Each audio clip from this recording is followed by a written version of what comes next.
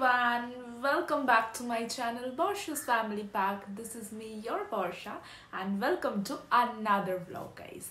So, before starting, let me wish you guys a very, very happy, healthy, and prosperous new year, guys. আশা করছি সবাই খুব খুব ভালো আছো। And I am so sorry guys এত late wish করার জন্য। আমি জানি টোয়েন্টি লাস্ট ব্লগ তোমরা দেখেছ টোয়েন্টি ফিফথ ডিসেম্বর আমরা কীভাবে কাটিয়েছি বাড়িতে, কি কি করেছি। সো আমরা ক্রিসমাস সেলিব্রেশন কীভাবে করেছিলাম, সমস্তটাই তোমাদের সাথে শেয়ার করেছি। And similarly thirty first night and new year কীভাবে স্টার্ট করছি এক্স্যাক্টলি অনেকগুলো প্ল্যান ছিল।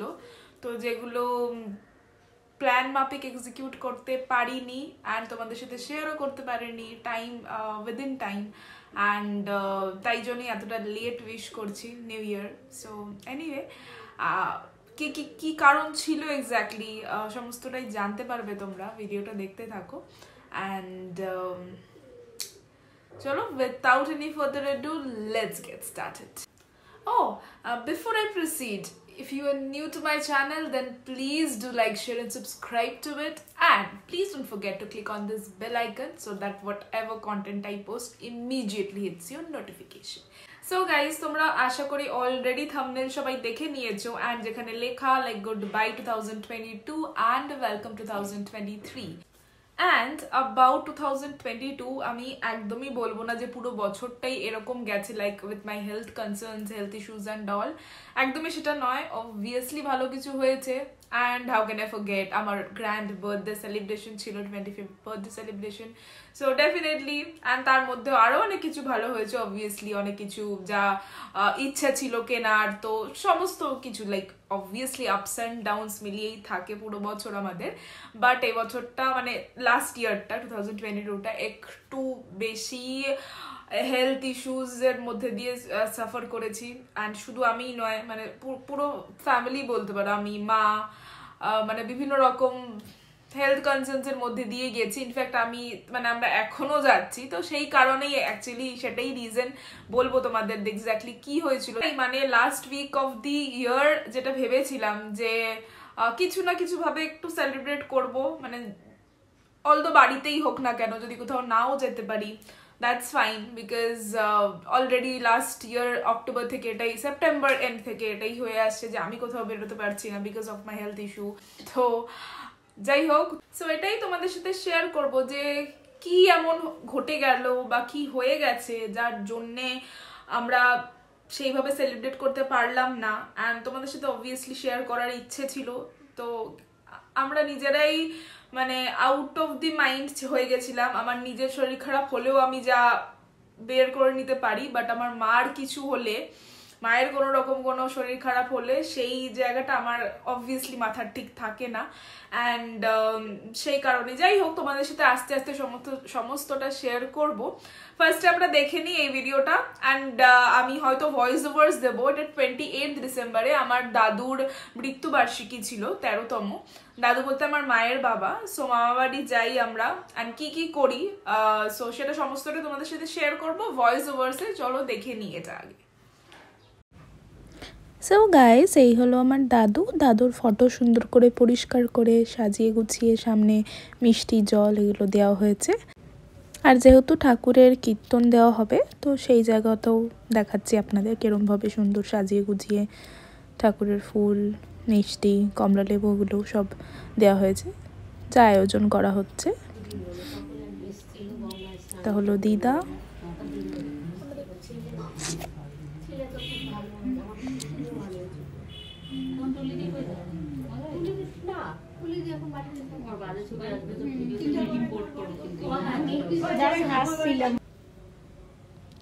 সবাই আস্তে আস্তে আসছে মানে দিদার সঙ্গের যারা আসে। বাকি দিদারা আরও মাসি, কাকিরা। আমরাও সবাই বসেই আছি। কীর্তন শুরু হয়নি এখনও জাস্ট অ্যারেঞ্জমেন্টস চলছে। আর কিছুক্ষণের মধ্যেই ঠাকুরের নাম কীর্তন শুরু হবে। তার আগে দিদা নেই, সকলকে চন্দনের টিপ দিচ্ছে।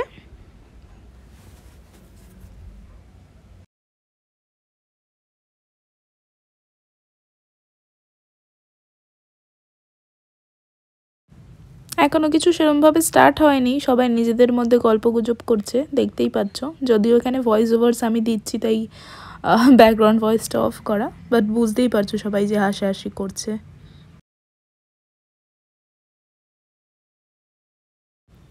এখনও অনেকেই ঢুকছে একে একে আরও অনেকে আসবে এখনও কমপ্লিট সবাই এসে পৌঁছায়নি। মানে যারা নাম কীর্তন করবেন, এই যে সবাই এসে গেছে অলরেডি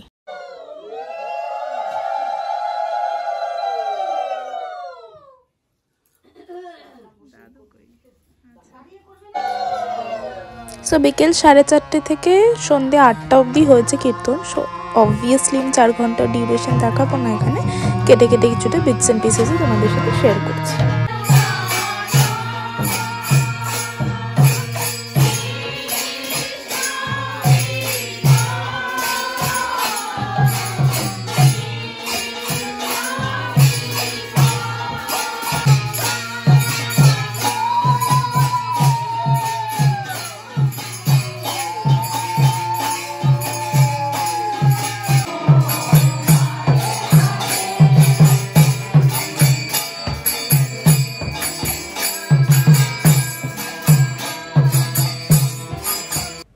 এবারে সন্ধ্যে সাড়ে সাতটা নাগাদ প্যাকেটগুলো সব চলে এসছে। প্যাকেট আমরা অ্যাকচুয়ালি বাড়ির এখান থেকেই অর্ডার দিয়ে গেছিলাম। কাকু ঠিক টাইম মতোই পৌঁছে দিয়েছে ওখানে। সো প্যাকেটের ভেতর আর পরে ভিডিও বা ফটো তুলে দেখাতে পারিনি সরি বাট এর ভেতরে রয়েছে চারটে করে রাধা বল্লবী, চারটে করে আলুর দম, দু রকমের মিষ্টি, একটা করে মোয়া, সকলের জন্যে। তারপরে আরেকটা ছোট্ট আয়োজন করেছিলাম মানে দিদানের বন্ধুরা মানে ফ্রেন্ডস বলতে পারো বা বাকি দিদানরা যারা সবসময় আসে, দিদার বাড়িতে যা যা অনুষ্ঠান হয়, সমস্ত পুজোতে যারা থাকেন সাথে, তো তাদের জন্যই একটা ছোট্ট আয়োজন করেছিলাম। শীতকাল যেহেতু একটা শাল দেওয়ার ব্যবস্থা করেছিলাম।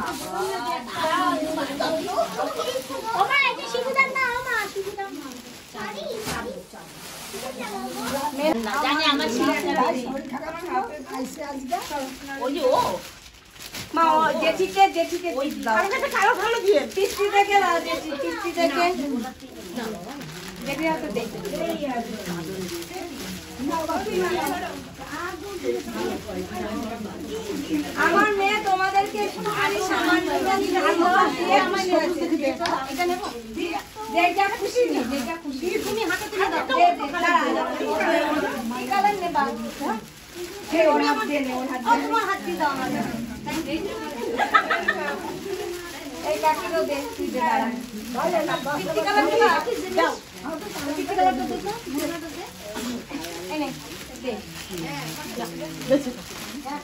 তোর জন্য উন্নতি হোক। ওই সুন্দর না দিছে? ভালো কালার তুই তুই যাবি ঝুনু গেল ভাই মা বেটি দিতে দাও ঝুনু টুকায় ঝুনু টুকায় দিছে কিন্তু ঝুনু বাবা বাচ্চার মতো টুকায় ও আগে নিয়ে বসে আছে এই না কাকিমা আমার আগেই দিছে এটা ঝুনু নিয়েছে দেখো না কাকিমা আমার আগেই দিছে যে ওর মেয়ে আরে গোলা ফুল গাছে রেখে দিল লুকাই ভালো আছে দিলে আমি কালার ভালো হয়েছে ভালো হয়েছে? হ্যাঁ লুকাই দিলাম বাইরে নিচে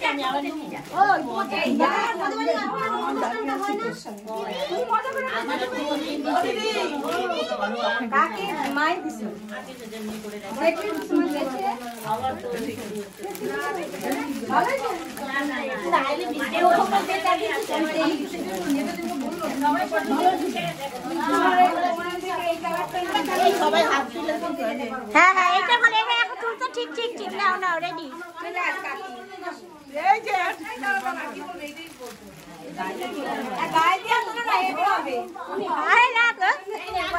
সবাই খুব খুব খুশি হয়েছিল।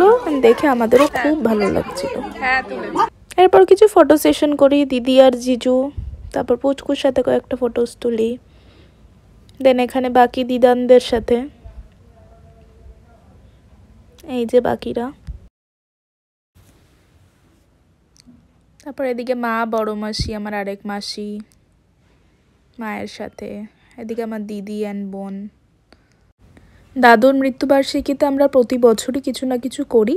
এই বছরের অনুষ্ঠানও সুষ্ঠুভাবে পালন হয়েছে। সো তোমরা দেখলে দাদুর মৃত্যুবার্ষিকী আমরা কীভাবে পালন করি। প্রতি বছরই কিছু না কিছু করি। সো সেটা তোমাদের বললাম, সমস্তটাই শেয়ার করলাম। সো সেই দিন ইনফ্যাক্ট তার আগের দিন থেকেও মার খুব দাঁতে পেন হচ্ছিল।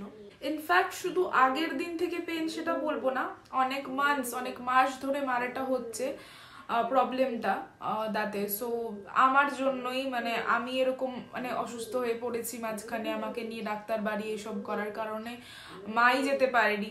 মার সাথে অবভিয়াসলি কাউকে যেতে হতো না হসপিটাল সো এবার আমি এরকম অবস্থা যে আমি আমি হাঁটতে পারছি না বা যেতে পারছি না, তো সব মিলিয়ে একটা ব্যাপার যে মার আর কি ডাক্তার দেখাতে পারিনি পেন কিলার্স অ্যান্ড ডল এইসব খেয়ে চলছিল।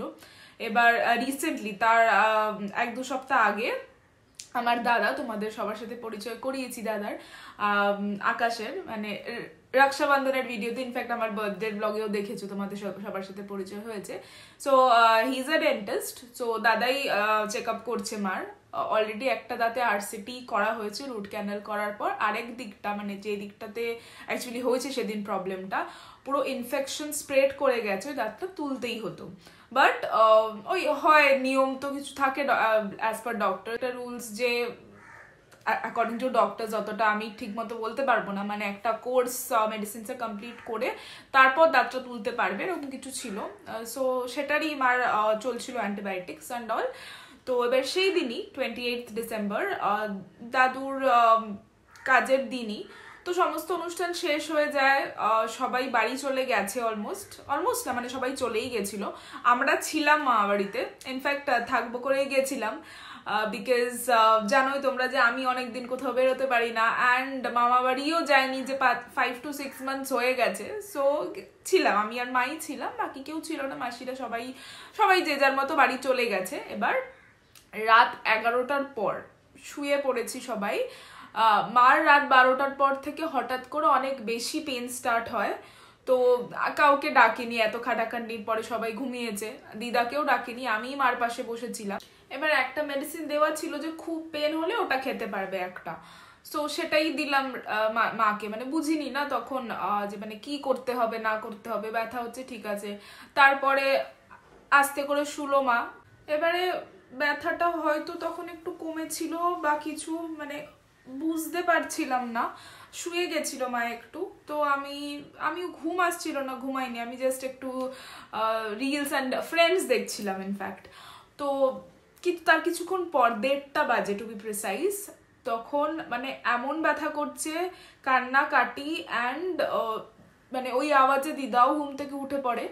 তারপর মাকে আর ধরে রাখা যাচ্ছে না। মানে এমন শিভার করছে বডি কাঁপছে পুরো রীতিমতো, না দাঁড়াতে পারছে, বসতে পারছে, কাঁপছে, কান্না, কাটি মানে খুবই বাজে অবস্থা হয়ে গেছিল। এবার মানে খুবই বাজে অবস্থা হয়ে গেছিল, মার ব্রিদিং প্রবলেম হয়ে গেছিল, পুরো গা হাত পা ঠান্ডা হয়ে হয়ে আছে। শুধু মানে এই জায়গাটা, এই কান থেকে এই গলা, এই পুরো পোর্শনটুকু গরম মানে মারাত্মক গরম। মানে বডি টেম্পারেচারের সাথে মানে কোনো ম্যাচ করছে না। নর্মাল যদি ফুল বডি টেম্পারেচার যা থাকে, মারাত্মক গরম শুধু এইটুকু পোর্শন অ্যান্ড পুরো বডি মানে উল্টোর প্রচণ্ড ঠান্ডা হয়ে রয়েছে। তো মানে বুঝতেই পারছি না, মাথায় আসছে না যে কি করব। দাদাকে ওই মুহূর্তে ডাকা হয় ডাকি। তো ও আসে বাট ও আরও কিছু মেডিসিনস দেয়। তো সেই মুহূর্তে মা তো বসেই থাকতে পারছে না। কোনো সেন্সই নেই অলমোস্ট তো ওই ট্রিটমেন্ট করে কিছু, তারপর সঙ্গে সঙ্গে হসপিটাল নিয়ে যাওয়া হয়। সো হসপিটালের ডক্টর এটাই মানে সাজেস্ট করেন। মানে অত ওরা তখন আড়াইটে বাজে যখন হসপিটালে নিয়ে যাওয়া হয়। আমার মা বাড়ির পাশেই একটা হসপিটাল রয়েছে। সো ওখানে নিয়ে যাওয়া হয়। ডক্টর এটাই বললেন যে ওরালি যে মেডিসিনসগুলো নিচ্ছে ওই মেডিসিন ওরালি কাজ করছে না। তো ওটারই ইন্টারভেন ইঞ্জেকশনস থ্রু ইন্টারভেন ইঞ্জেকশনে ওই সেম মেডিসিনস চলতে হবে। তো অ্যাডমিট করবেন আপনারা নাকি? মানে অনেক, আমি তো কিছু বুঝতেই পারছি না, মাথায় কিছু আসছে না যে কি করব। মানে কিছুই মাথায় আসছিল না, তখন দাদা ছিল ভাগ্যিস, তাই আদারওয়াইজ তো বুঝতামই না যে মানে কি করব। মানে ওরকম মানে কি থেকে পেন হচ্ছে সেটাও বুঝতে পারছি না, ও বুঝতে পারছে না যে এরকম মানে দাঁতে ব্যথা থেকে তো এটা হওয়ার কথা নয়, বা ওই মেডিসিনসের এফেক্ট তো এটা নয় বিকজ অ্যান্টিবায়োটিক তো আগেও খেয়েছে। মেডিসিনস থেকে তো কনভালশনটা হচ্ছে না অফকোর্স তো কি থেকে এক্স্যাক্টলি তো পরে যা জানা গেল, পুরো ইনফেকশনটা স্প্রেড হয়ে গেছিল একদম মানে গলা টনসিল অবধি। তো যাই হোক সো ওরমভাবে কাটলো সেদিন রাতটা। দু আড়াই ঘণ্টা পর মা স্টেবল হয়েছে। তো ঘুমিয়ে গেছিল, তারপর আর পরের দিন সকালটা আমরা মা বাড়িতেই ছিলাম। একটু সিচুয়েশন ঠিক হয়েছে। দাদাও বলল, যদি এই দিনটা একটা দিন এই মেডিসিনসগুলো খেয়ে ঠিক থাকে বা ব্যথাটা কম থাকে অ্যাটলিস্ট তাহলেই পরের দিন নিয়ে চলে আসবি, আমি দাঁত তোলার ব্যবস্থাটাই করব। সো সেটাই করা হলো অ্যাকচুয়ালি পরের দিন মানে আঠাশ তো উনতিরিশ তারিখ টোয়েন্টি নাইন্থ ডিসেম্বর বাড়ি চলে আসি রাত্রিবেলা আমরা। সো থার্টিথ সকালেই মাকে নিয়ে যাই হসপিটালে মানে যেখানে দাদা আছে। সো ওই করে দেয় ট্রিটমেন্ট দাঁতটা তুলে দেয় অ্যান্ড তারপরও কিছু মেডিসিনস চলেছে আরও তিন দিন। সো এখন বাই গডস গ্রেস মার ঠিক আছে, অনেকটাই সুস্থ আগের থেকে, ব্যথা আছে, তো ঠিক আছে, তার তোলার পর যে ব্যথাটা থাকে সেইটা। বাট সেই যে প্রবলেমটা হয়েছিল তো সেটা সেটা আর হয়নি, তো এখন একটু সুস্থ আছে। সো যাই হোক থার্টিয়েথ অ্যান্ড থার্টি ফার্স্ট দুদিনই এইভাবেই যায়। এবার আস্তে আস্তে মা সুস্থ হচ্ছিল। যে ব্যথা তো থাকেই একটা, যেটার জন্য সলিড কিছু খেতে পারছিল না অনলি লিকুইড ডায়েটে ছিল। তো যাই হোক, আমাদের যা প্ল্যান করেছিলাম মানে মা আর আমি মিলেই, হয়তো কোথাও বেরোতাম হার্ডলি বা বাড়িতে থেকেই সেলিব্রেট কিছু রান্না বান্না করে, তো তোমরা কোনো ডিলিশিয়াস ফুড ব্লগ দেখতে পারতে একটা এতদিনে। বা যাই হোক, যেরকম টোয়েন্টি ফিফথে সেলিব্রেট করেছিলাম আমরা বাড়িতেই, সেটাই করতাম হয়তো থার্টি ফার্স্টে যেটা সম্ভব হয়নি বাট একটু ঠিক ছিল মা। এখন ঠিক আছে, এখন অনেকটাই বেটার আছে। থার্টি ফার্স্টে আমার ছুটি অফিস স্যাটারডে এবার শুয়ে আছি দুপুরবেলা, আমারও থাকে মেডিসিনস জানোই, মাও একটু রেস্ট নিচ্ছে, কারণ ব্যথা তো আছেই, যতই হোক। তো হঠাৎ দুপুর তখন সাড়ে তিনটে বাজে। কার পায়ের আওয়াজ, দরজার আওয়াজ, এত লোকের কথার আওয়াজ মানে কে এরকম? অল অফ আ সাডেন দরজা খুলে দেখলাম যে দিদান, আমার দিদান। মানে কি বলব, তখন উনি তিনতলা উঠে এসছেন, হাঁপাচ্ছেন। নিচে আমাদের যে ভাড়া থাকেন, ওই আন্টি দিয়ে গেছে উপরে। তিনতলা অব্দি উঠতে হয়েছে ওনাকে। দুপুরে কাউকে ফোন করেননি, উনি নিজেই এসছে। তো, মাকে দেখতেই এসছে অবভিয়াসলি অ্যান্ড তোমরা দেখেছ, আমি আগেও শেয়ার করেছি। মানে পুজোর টাইমে তার আগের ব্লগগুলোতে দিদা, আমাকে দেখতে কতবার এসছে। আমি যেতে পারিনি মামা বাড়ি ঠিকই। মানে সিন্স অগস্ট থেকে এই ডিসেম্বর জানুয়ারি ডিসেম্বর অবধি ধরতে পারো, তো আমি মামা বাড়ি যেতে পারি। দিদা বহুবার এসছে দেখতে। অনেকবার বারণ করলে উনি শোনেন না। এবার এতটা উঠে এসছেন, ওখানে মানে বকতেও পারছি না যে মানে কেন, কি করতে এসছো তুমি? এতটা উঠে, এত কষ্ট করে কেন এসছো? তো তো এই যে আমরা কয়েকটা সেলফিস তুলি, মার তখনও খুব দাঁতে ব্যথা। কিছু একটা কভার করে রাখতে হচ্ছে, গলা দিয়ে ব্যথা। তো যাই হোক, এইভাবে আমাদের থার্টি ফার্স্ট নাইটটা কেটেছে সো থার্টি ফার্স্টেই ইনফ্যাক্ট তার আগে থেকে আমরা প্ল্যান করছিলাম। আমরা বলতে, এটা আমি, আমার দিদি, দাদা মানে আমরা তিনজনই প্ল্যান করি কোথাও মানে কোথাও বেরোনোর থাকলে।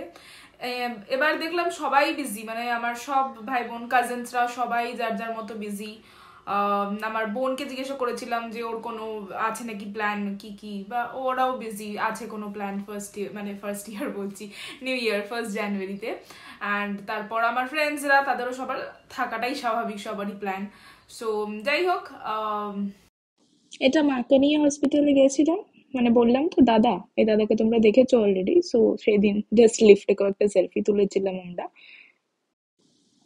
একটা জিনিস পজিটিভ যেটা আমাদের মধ্যে দেখতে পারবে যে অলওয়েজ স্মাইলিং ফেস যতই ব্যথা, অনেক কষ্ট হচ্ছে হয়তো ভেতরে but and I think this is one of the best remedies actually তো এবার আমার দিদিকে মানে আমার মামার মেয়েকে, আমরা প্রতি বছর ফার্স্ট জানুয়ারি একসাথেই থাকি। ইনফ্যাক্ট মানে সমস্ত ওকেশনসেই বলব রেসপেক্টিভ অফ দুর্গা পুজো হোক, যে কোনো পুজো ওকেশনস যাই থাকুক, আমরা থাকি একসাথে। শুধু আই গেস আমি two thousand twenty and twenty ওয়ানে ছিলাম না, পুনেতে ছিলাম, তো এই দুটো ইয়ারই মিস মিস হয়েছে আমাদের। মানে একসাথে থাকা বা কোথাও যাওয়াটা। সো বাকি ধরতে পারো, আজ থেকে নিয়ে লাইক পঁচিশ বছর ধরে আমরা একসাথেই বেরোই বা থাকি। অ্যাটলিস্ট কোথাও বেরোনোর না থাকলেও, ঘরে শুয়ে থাকলে, শুয়ে শুয়ে মুভি দেখলেও তাই থাকি। সো ওকেও জিজ্ঞাসা করলাম, এবার ওর অফিস ছিল থার্টি ফার্স্টে আমার তো উইক অফই ছিল স্যাটারডে সানডে বাট ওর অফিস ছিল। তো বলল অফিস করে এসে আর ভালো লাগে না, এটা ওটা। ঠিক আছে, ছাড় বাদ দে, তাহলে অন্য দিন। এমনি মারও শরীর ভালো যাচ্ছে না, এখন একটু ঠিক ছিল বলে ভাবলাম হয়তো কোথাও বা আয় বাড়িতে, এরকম কিছু একটা। দিয়ে হলো না সেই প্ল্যানটা যাই হোক দেন পরের দিন সকাল মানে ফার্স্ট জানুয়ারি নিউ ইয়ারের দিন সকালবেলা উঠে হঠাৎ ও বলে যে, যাবি কোথাও তাহলে? এবার ও আর কি, যাবি কোথাও তাহলে বল, তুই কি যেতে পারবি? হাঁটতে পারবি? না তাতে কি হয়েছে? গাড়িতে ক্যাবে গিয়ে তো কোথাও গিয়ে জাস্ট লাঞ্চ করেও আসতে পারি। অনেক রকম আলোচনা। ওই সকালবেলা তখন নটা, সাড়ে নটা বা দশটা বাজে হয়তো, মনে নেই এক্স্যাক্টলি বিকজ আমি ঘুমিয়েই ছিলাম। মানে শুয়েই আছি, শুয়েই আমি জাস্ট কলটা রিসিভ করি ওর। তাহলে একটা কাজ কর, তুই চলে আয়। সো এরকম আমাদের মধ্যে ডিসকাশন চলছে, কোনো প্ল্যান নেই। তো যাই হোক, ও এলো, তারপরে ও বাড়ি এলো, তারপরে এক্স্যাক্টলি আমরা ডিসাইড করলাম যে কোথায় যাওয়া যায়। মানে সব থেকে তাড়াতাড়ির মধ্যে মানে কাছাকাছি যাওয়া যায় প্লাস ঘুরতেও পারব প্লাস আমার জন্য যেটা বেশি সিঁড়ি ওঠানামা হবে না, যেহেতু আমার বারণ বাড়ি থেকে একবারেই নামবো দেন ক্যাবে করে এমন জায়গায় যাব, যেখানে সিঁড়ি ওঠানামার ব্যাপার নেই কোনো লিফট তো সব জায়গায় থাকে, তো আলটিমেটলি ডিসাইড হলো কোনো মলে যাওয়া যাক, এবার সিসি টুর থেকে কাছে আর কোনো মল এখানে নেই, তো সিসি টু ঠিক আছে, চল বুক করা হবে গাড়ি, আমরা ঝটপট রেডি হয়ে নিলাম দুই বোন, দিয়ে বুক করে চলে গেলাম আমরা সো চলো তোমাদের সাথে শেয়ার করি আমরা কি কি করলাম। অ্যান্ড যদিও সেরকম কিছু হ্যাপেনিং করিনি জাস্ট গিয়ে লাঞ্চ করেছি, তারপর কিছুক্ষণ বাদে ফটো ফটো ফটো সেশন করেছি অফকোর্স সেটা ম্যান্ডেটরি ইনফ্যাক্ট আমার সাথে যেই বেরোবে সেলফিস তোলা, সেটা তো একটা, কেমন একটা রুটিন ওয়াইজ চলে আসে। তো যাই হোক ফটো ফটো তুললাম আমরা জাস্ট অ্যাটলিস্ট বেরোলাম। আমি তো এত মাস পর বেরোলাম। ইনফ্যাক্ট ওরও কোথাও যাওয়া হয় না। পুজোতে আমিও যেতে পারিনি সো কোথাও বেরোনোও হয়নি তো যাই হোক আমরা কীভাবে কি সেলিব্রেট করলাম কীভাবে এনজয় করলাম চলো তোমাদের সাথে শেয়ার করি No, you don't forget the goodbyes, and you don't forget the good times.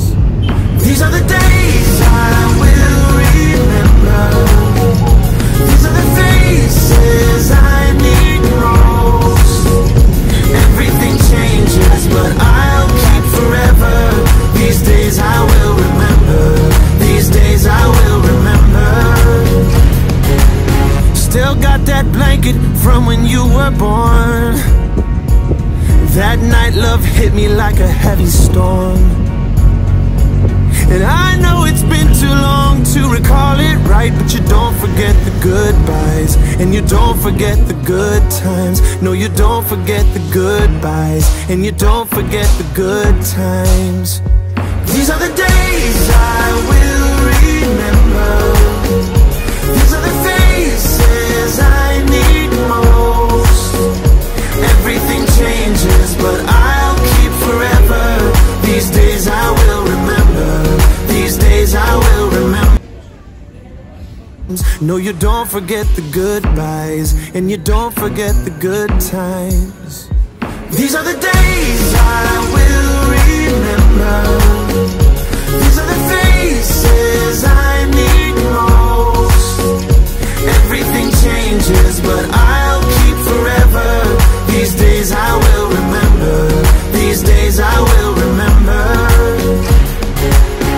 Still got that blanket from when you were born. That night love hit me like a heavy storm. And I know it's been too long to recall it right, but you don't forget the goodbyes, and you don't forget the good times. No, guys তোমরা দেখলে আমরা কীভাবে celebrate করলাম কীভাবে enjoy করলাম new year day and পুরোটাই share করলাম. In fact যেটা আমার হেডলাইনে দেওয়া যে bye bye two thousand twenty two and welcome to thousand twenty three so twenty twenty two last উইকটা কীভাবে আমরা কাটালাম? ইনফ্যাক্ট তোমরা বুঝতে পেরেছ যে কেন কিছু সেলিব্রেট করতে পারিনি বা কিছু শেয়ার করতে পারিনি তোমাদের সাথে। এত লেটে কেন ভিডিওটা পোস্ট করছি? এত লেটে কেন আমি হ্যাপি নিউ ইয়ার উইশ করছি তোমাদের? সমস্তটাই শেয়ার করলাম, আশা করি বুঝতে পেরেছ তোমরা। অ্যান্ড আশা করি সমস্ত প্রতি সময় তোমরা অবভিয়াসলি আমাকে তো আশীর্বাদ দিচ্ছই, ভালোবাসা দিচ্ছই।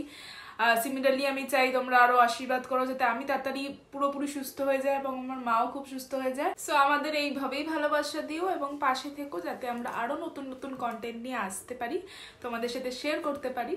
অ্যান্ড এই ভিডিওটা অলরেডি অনেকটা লং হয়ে গেছে। তাই আর আমি এখানে আর কিছু বলে ভিডিওটা লং করব না বাট হ্যাঁ আর কিছু বলার ছিল আমার এক্স্যাক্টলি তো মানে এই যে সিচুয়েশনটা তাতেও অনেকে রিলেটিভস ঠিক আছে? তোমরা জানি না বিশ্বাস করবে কিনা বা অনেকের সাথে এটা রিলেটও করতে পারো, নিজেদের সাথে রিলেট করতে পারো। তারা, আমি জাস্ট কিছু লাইন্স বলব। তো তোর নাকি নাকি, তোর নাকি মায়ের এরকম হয়েছিল? তোর মার নাকি এরকম হয়েছিল?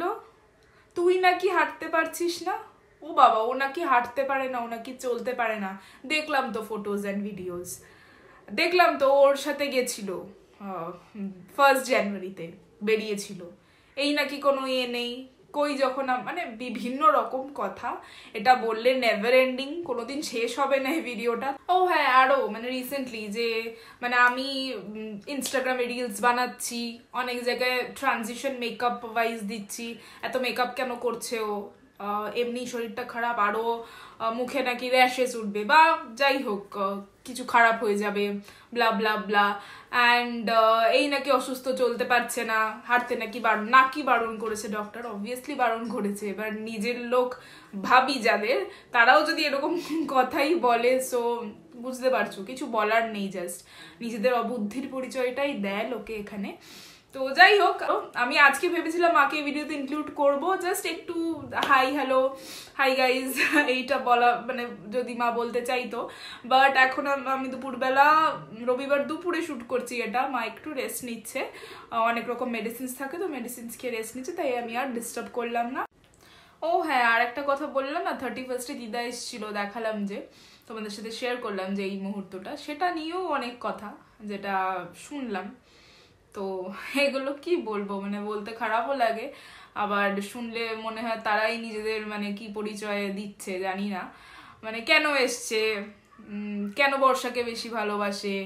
কেন ইয়ে কেন ও মানে লাবলা অনেক অনেক কথা। তো চাই না আমি আজকে যেরকম তোমাদের বললাম, আমি আজকের ভিডিওতে এগুলো কন্টিনিউ করতে একদমই চাই না। বাট হ্যাঁ কোনো না কোনো ভিডিও একটা আমি ছোট্ট রাখব, এরকম ডিসকাশন যে এত controversies not only within relatives বা উইদিন ফ্যামিলি আছে অনেক ফ্রেন্ডসদের তরফ থেকেও আছে অনেক রকম কথাবার্তা। এটা কেন, ওটা কেন, এটা কেন করছে ও এটা কেন না, এত প্রশ্ন যাদের, আমি জানি মা আমাকে বলে ইগনোর করতে বাট এইটা আমি এখনও মাস্টার করতে পারিনি। মানে হয় না স্কিলটা পুরোপুরি শিখে উঠতে পারিনি আমি ইগনোর করাটা। তাই মা বলে সবসময় ইগনোর করতে বা চুপ থাকতে। সো পারি না। আমি এই স্কিলটাই ডেভেলপ করে উঠতে পারিনি। হয়তো এই স্কিলটা নিয়েই আমি শিখব। টু থাউজেন্ড টোয়েন্টি থ্রিতে আমার অনেক কিছু অনেকগুলো সার্টিফিকেশন কোর্স করার ইচ্ছে আছে বা করছি আমি অনগোয়িং সেটা তোমাদের সাথে শেয়ার করব। একটা ওটা নিয়ে ডিফারেন্ট ব্লগ রাখব আমি। যে কি কি নতুন স্কিলস শিখছি। অ্যাপার্ট ফ্রম আমার পড়াশোনা মানে আমার বিটেক আমার এম বি এ করা, এগুলো বাদ দিয়ে, আমি কিছু স্কিলসের ট্রেনিং নিচ্ছি কোর্স করব। তো সেটা সেগুলো তোমাদের সাথে আমি শেয়ার করব। তার সাথে সাথে ভাবছি এটাও করব। ইগনোর করার স্কিলটাও মনে হয় নিজের মধ্যে ডেভেলপ করতে হবে আমায়। বাট সবসময় চুপ থাকা যায় না। কিছু জিনিসের উত্তর কি না তারা তারা নিজেরা ডিজার্ভ করে। এই রিপ্লাইজগুলোর বা আনসারগুলো আমি জানি মা বলে, মুখে বলেই সমস্ত সবকিছুর জবাব দেওয়া যায় না কাজে করে বাট সব টাইমে চুপ করে থাকা যায় না জাস্ট এটা তোমরাও জানো, যারা আমার মতো রিলেট করতে পারছ, তারা আমাকে জানিও কমেন্ট করেছে তোমরা কীভাবে চুপ থাকছো বা তোমরা কীভাবে কোন ওয়েতে এটার মানে এই পরিস্থিতির সামনা করছ। তো যাই হোক, আমি দেব ওটার একটা ভিডিও রাখব। আমি হয়তো, আমি আশা করছি আরও অনেক কোয়েশ্চেন্স থাকবে মানুষের মনে। তো যে কোয়েশ্চেন্সগুলো আমি যখন শুনতে পারব, তখন হয়তো আনসার দিতে আমি রেডি হব বা তখন একটা ভিডিও বানাবো। সো গাইজ আজকের ভিডিওটা আমি এখানেই এন্ড করছি and thank you so much for watching this and চলো until next time stay tuned stay blessed and stay safe love you guys